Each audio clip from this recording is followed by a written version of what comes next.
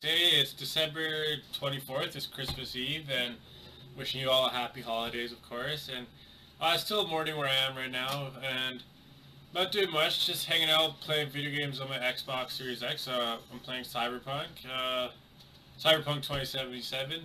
What else am I doing? Just eat, eating breakfast, drinking water, and all that fun stuff. And uh, yeah, just hanging out with my pets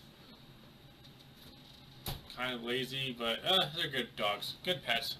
Uh, you know, some stuff I like to keep on me.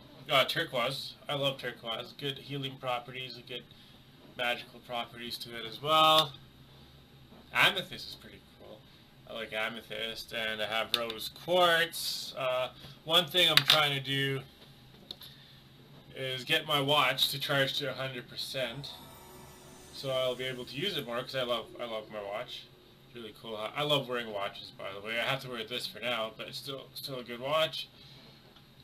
I just got some bracelets on, which is pretty cool, which I ordered online. Uh, and yeah.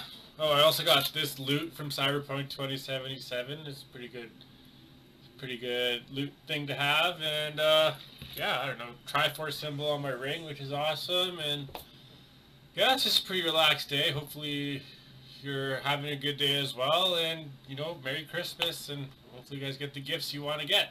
Anyway, I'll talk to you next time. Ooh.